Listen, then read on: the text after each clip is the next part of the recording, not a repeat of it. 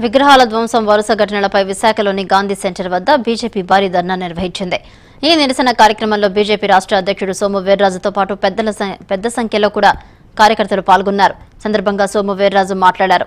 చెరో శ్రీశైలం కార్యక్రమం చేపడుతున్నట్లు చెప్పారు. శ్రీశైలం మంత్రాలయం లాంటి చోట్ల అన్య మతస్థులకు దుకాణాలు కేటాయించడం పట్ల మండిపడ్డారు.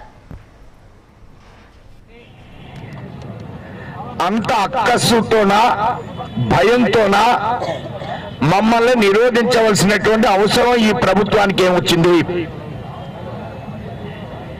ఇలాంటి ఆలోచనల్ని భారతీయ జనతా పార్టీ ఎట్టి పరిస్థితుల్లోనూ సహించే ప్రసక్తి లేదు. మేము ఎందుకు ఈ ఉద్యమాన్ని తీవ్రతరం చేస్తున్నామంటే రెండు అంశాలు ప్రధానమైనటువంటి కారణం రెండు అంశాలు.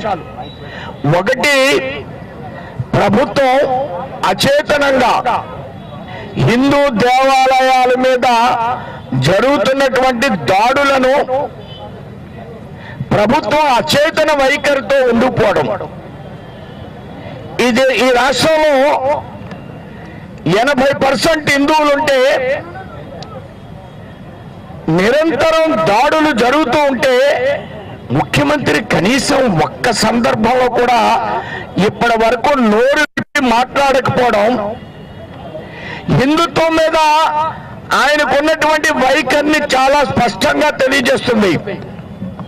అలానే మేము భారతీయ జనతా పార్టీ మేము బహిరంగంగా చెప్తున్నాం. మాది హిందుత్వ పార్టీ మాది హిందుత్వ పార్టీ. దీనిలో మాకు రెండో ఆలోచన తావే లేదు. అంత మాత్రాన్ని మేము క్రైస్తవులకు వ్యతిరేకం కాదు. అంత మాత్రాన్ని మేము ముస్లింలకు వ్యతిరేకం